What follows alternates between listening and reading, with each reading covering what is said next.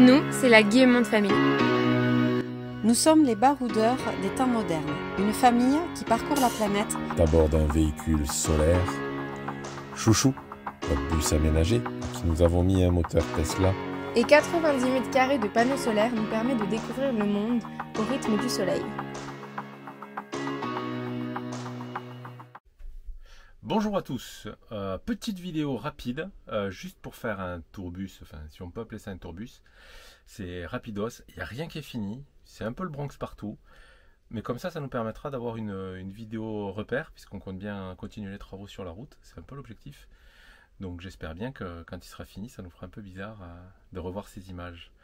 Donc je vais vous faire ça en voix off pour vous commenter ça.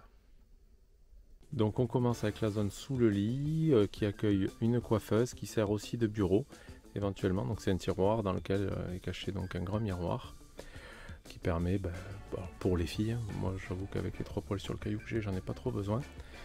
Euh, ce qui permet à tout le monde d'avoir un petit espace un petit espace pour s'occuper de soi.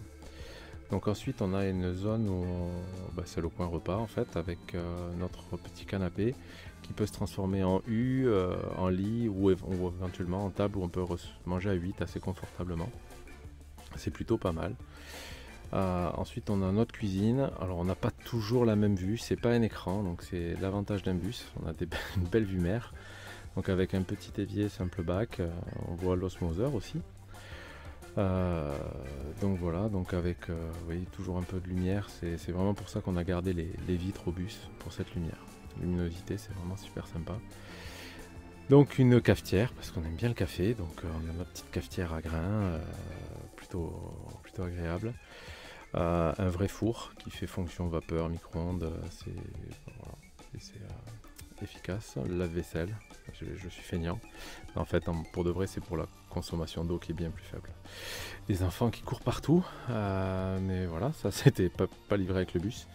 On les avait avant. Donc les chambres des enfants, euh, où on peut, donc elles ont exactement la même chambre de chaque côté.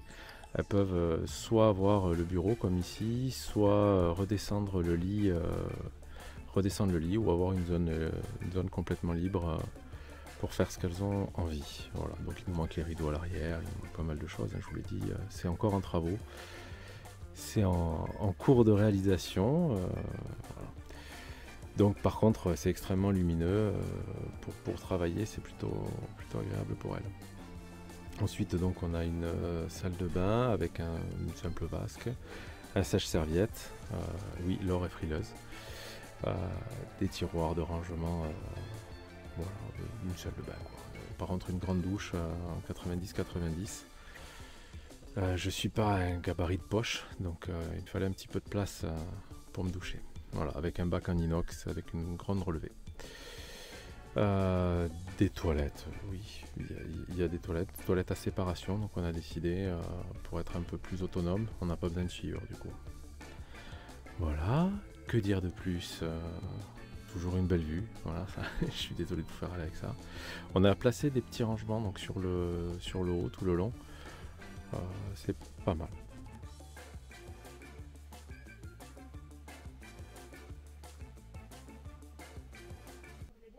Bon voilà, j'espère que ça vous a plu.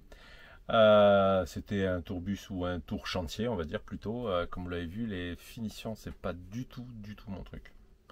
Je garde espoir que leur fasse les peintures petit espoir. Euh, mais j'espère, j'espère encore. Euh, donc là, il faut faire comme tout le monde, là, les petits pouces, les petits plus, les petits abonnez-vous, les petits tout ce que vous voulez. Euh, apparemment, faut le dire, je, le dis.